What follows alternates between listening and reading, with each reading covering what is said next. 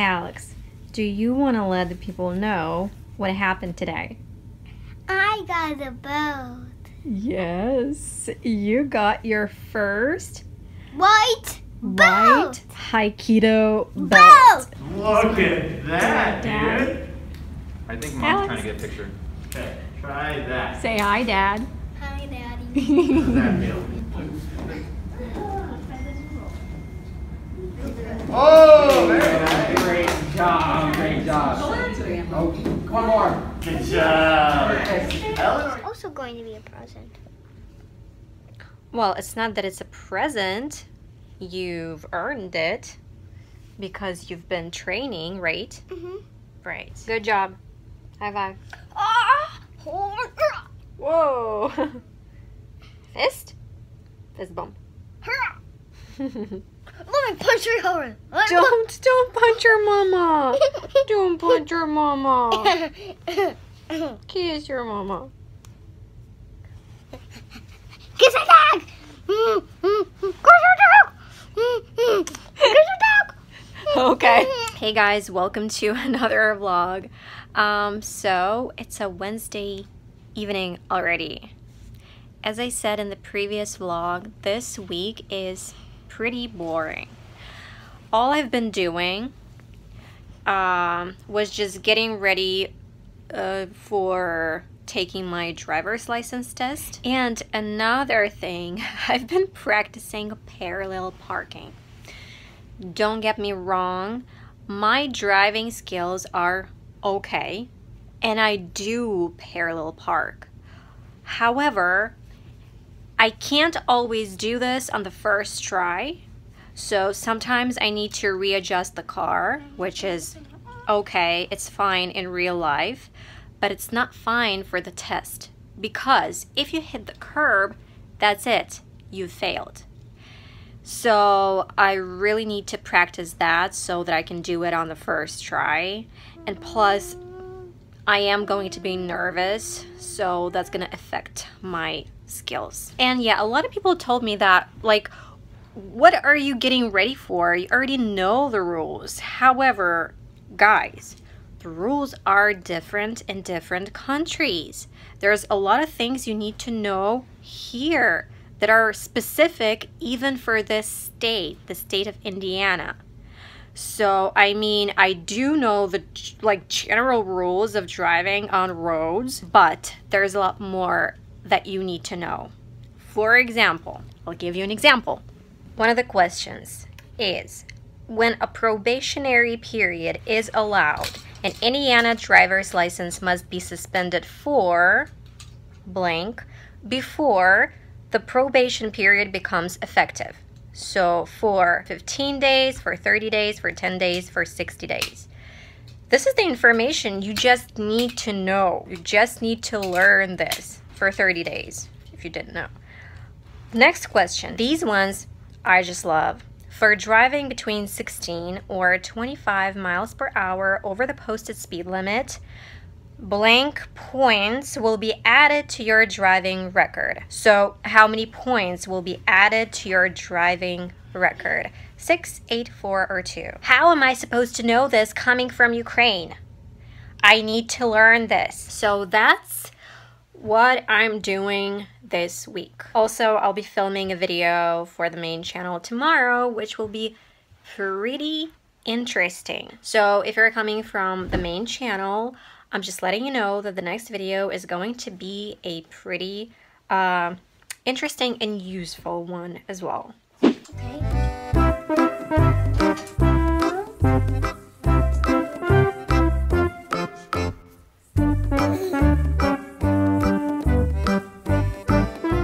Так. Стоїть ця палка.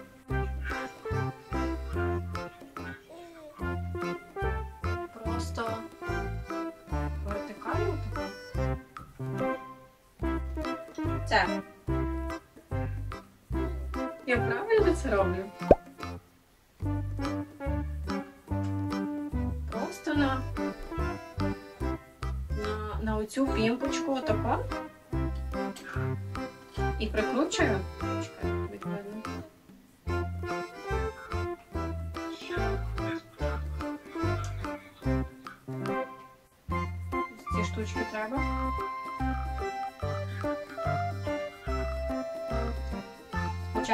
Софтбокси, потім це підключати. Що це таке?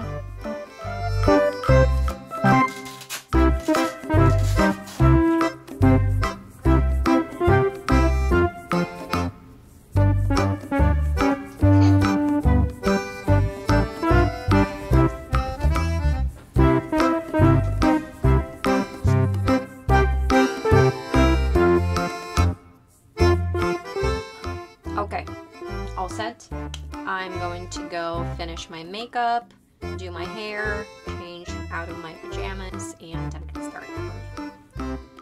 You will not believe this. I almost forgot to connect my mic to the camera. God.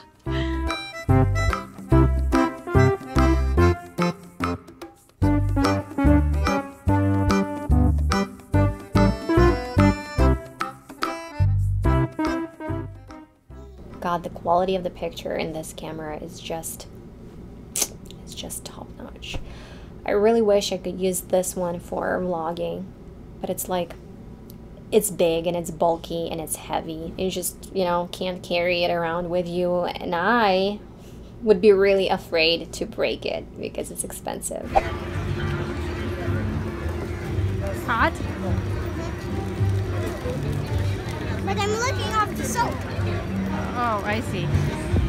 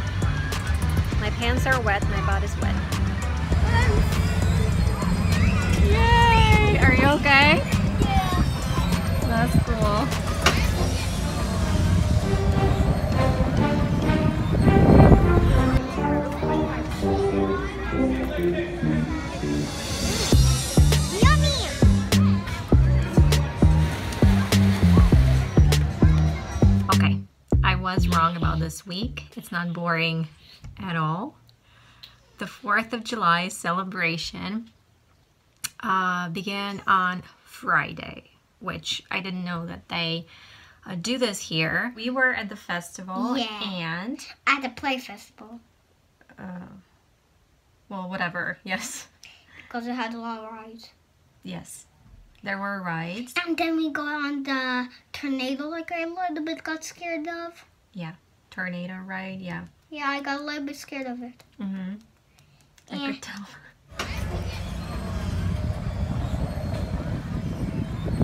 Dragon one was more scarier. Mm-hmm. Just gonna upload the video. hmm Uh, yeah, I'm listening, and you know the people on the internet, they're listening as well. um and uh The dragon one, and then uh, the Lightning Queen. Lightning McQueen. Was that one scary? No. You liked that one. Yeah, I went. brave. I, Mhm. I w- I went there by myself on the Lightning Queen. Right. Mm-hmm. the shade. Right. And then what we tried um, merry-go-round, right? Yeah. That was. Uh, A I should horse, say- horse one, like up and down. yeah. Mm-mm-mm. They went up and down, up and down, and all around, right? In circles. Yeah. However, I should say, I think that I watched uh, too many horror movies where I've seen these merry-go-rounds. So when I was on that ride, I felt like I was in a horror movie.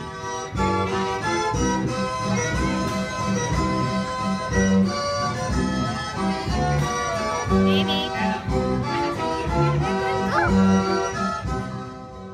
And then I watched Personally Me.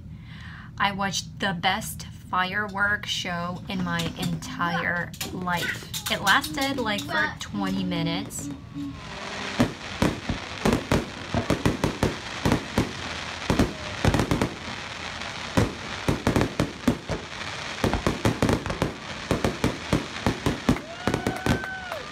Today is Saturday, and apparently there's something else going on, and we're gonna go and, um, I don't know, just take a look.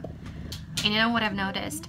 I am so bad at filming and vlogging, you know, like in public, because I just did not realize that that would be so hard with a child because you know you go to these events and you want to have fun and then you have to watch him and then you want to film and it's just kind of it's difficult it's not that easy as it seems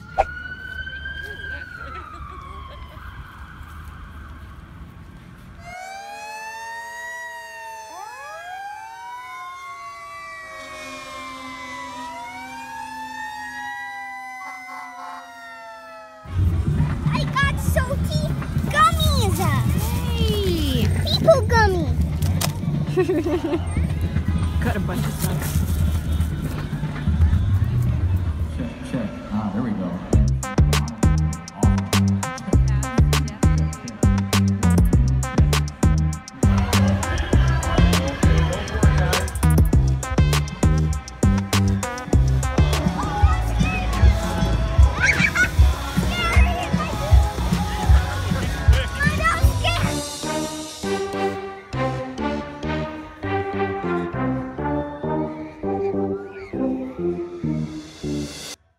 Well, you guys, there was a situation uh, when I posted a photo of me on the Lake Michigan beach um, on my Instagram, and then there was this person who said, like, well, this is what war in Ukraine looks like now. And I, it, it just, you know, I usually do not react, but it just made me so angry to be honest, because people are so inconsiderate. I just went right into defending myself and explaining the situation, like blah blah blah. You have no idea what's going on in someone else's life. I don't have my own place to live. I don't have a car. I can't open a bank account. There's so much stuff I need to do right now to figure out right now. Maybe it seems like everything is so great, but believe me, it's not. It's, it's, it's difficult. It's adjusting in a new country. I'm trying to build a new life here. By myself, without my husband, without my family, with a child. but uh, I posted my previous vlog where I talked about this already, like briefly, uh, because that's not the first time people say something like that, which is which is okay. There's just those judgmental people, and that's fine. But I started reading your comments, guys, and I was like, these people who watch my videos, they're just amazing. They do understand the situation. They do see what's going on. They don't need any explanations of me saying that I wouldn't have traveled. I don't have a car. It's not my own place. I don't have a place to live and, all these things. You don't need all that. And I just don't need to worry about that. So I just wanted to say that I'm so grateful to have such an amazing community of of just kind, open-minded, just lovely people all around. I mean, thank you. Thank you. Now, what I do want to say and what I do want to share because uh it's become a problem for me. So, because of this stress that I'm constantly experiencing, I started having nightmares. And I mean, we all have nightmares, right? Some scary dreams every once in a while. It all depends on the on our state of minds, right? And the the point we are in our lives. we all have this. I wouldn't have paid attention to that if it wasn't like almost every night. And those are not just any kind of nightmares, just something random, something a little scary, something that I don't remember afterwards. All that I can remember is just waking up in the middle of the night, you know, like breathing heavily. And no. These nightmares are way too vivid, way too realistic. The kinds of nightmares when you wake up you do not realize that that was a dream and you do not understand that you have already woken up and it seems like this is a reality. Your brain is just like, I don't know, tricking you. I'll give you an example. It always starts the same I'm going to bed. And then I'm turning off the light, and then I take a look at the window here, and I either can see, oh my god, my hands are shaking when I'm talking about this. I, I feel scared, to be honest. I feel scared. So I either can see like a dark figure. One time I saw this dark figure. I got really scared because I thought like, oh shit, there's a person in the room with me. What do I do? And that figure started walking towards me. And I woke up. And then I kept kind of seeing that f- dark figure. And I did not realize that I that, that was a dream. I started like panicking. I kind of tried to run out of the room, but then when I started getting out of the bed, I finally understood that that was a dream. But I was soaking wet. I was sweating and I was breathing so heavily. I, I could not catch my breath because I was so scared. And all these dreams are pretty much all the same. I either see dark figures or something in the window and I wake up and I feel so scared. And right now I'm at the point where I am afraid to go to sleep. I feel super tired because you can imagine that I do not sleep well. I can't uh, fall asleep after that, like for an hour or more. I feel very tired, but I don't want to go to sleep because it just keeps happening. I had this one dream that I just don't even want to talk about it because it's like sinister scary. It's not just scary, it's sinister scary. I know that this is a psychological thing and I just need to deal with my stress levels in my life. I just need to do something about it and medication is not going to help. It's just a short-term solution, not a long-term. I just need to deal with it. I know it. And you know, it's fine during the day. I mean, I do experience stress However, I can always calm myself down. I can always think about the situation, and it seems like I'm feeling fine. I don't know, maybe I have just gotten so used to this feeling of stress that I don't even realize that I'm stressed. I do know that I need to figure it out because I won't be able to function soon. But it's life, you know, guys. That was just a random chat with you. Okay, as I said, I'm so bad at vlogging these days. First of all, I did not realize that there's like this whole 4th of July weekend going on, that people celebrate the 4th of July throughout the whole weekend. It was fun, but I did not get to film almost anything because I forgot to charge my phone and my battery literally died Plus, my phone is overheating and a lot of the times the camera just won't turn on. So, yeah, there's that. You know what? If that wasn't for my friend, I wouldn't have even gone to those parades and to those celebrations, but it was fun. I was curious. Another thing, I'm not feeling great today. I almost did not sleep. I would just wake up a lot of times throughout the night. I, I think this is just anxiety or something because um, I got really stressed out yesterday. About that in a minute. But right now, it feels like I've been on a train for the whole night and I didn't sleep. And now I just hear this you know, noise in my head. It's not a headache, but my vision is a little blurry and I just hear this noise about me being stressed out and um, anxious and about the yesterday situation that I think triggered all that. Um, so yesterday we went to my uh, friend's relative's house and as it turned out, they had two dogs there. They did not tell anything about those dogs, did not warn us that there were dogs.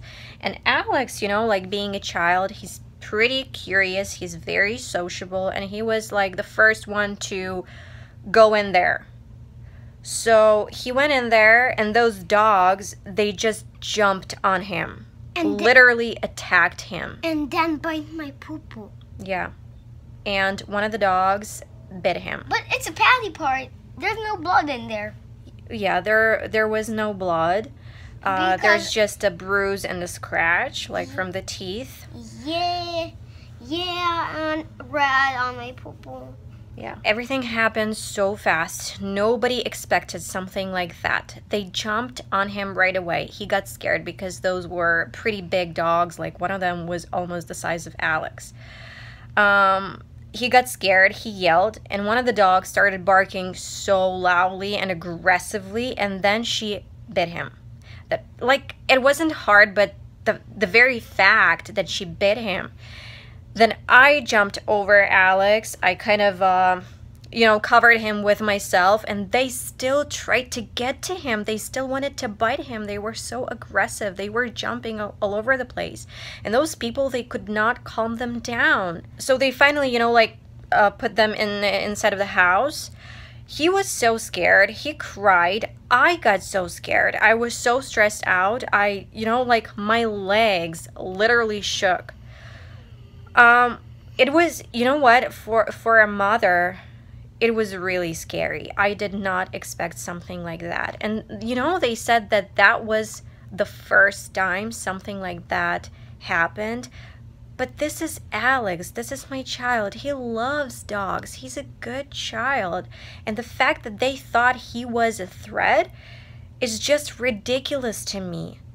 And if that in fact happened for the first time, I think that this is something that they have to pay attention to because it's not normal. It's not good. I don't think it's normal for a dog to bite a child, and I think that something like that might happen again. But I love dogs.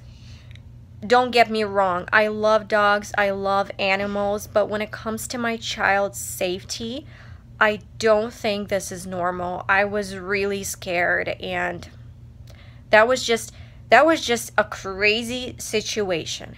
And then they were locked in one of the bedrooms and one of the bedroom doors goes outside. And this is a glass door. They could see us and they would try to attack Alex from the inside. They would jump on the on that glass door. But they were locked.